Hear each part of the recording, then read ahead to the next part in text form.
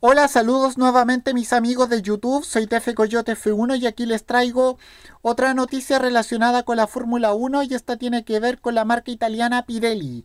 Bueno, como ustedes saben, Pirelli eh, se queda eh, como proveedor de neumáticos de la Fórmula 1, la italiana Pirelli se queda como proveedor de neumáticos de la Fórmula 1 hasta el año 2019 han renovado su contrato con la máxima categoría como proveedor de neumáticos hasta el 2019 y de esta forma eh, le, eh, le, ganan la pelea por el le ganan la, la pelea por los derechos de suministro a la francesa Michelin.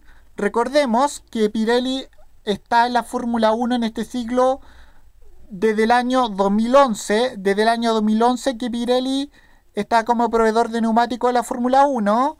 Eh,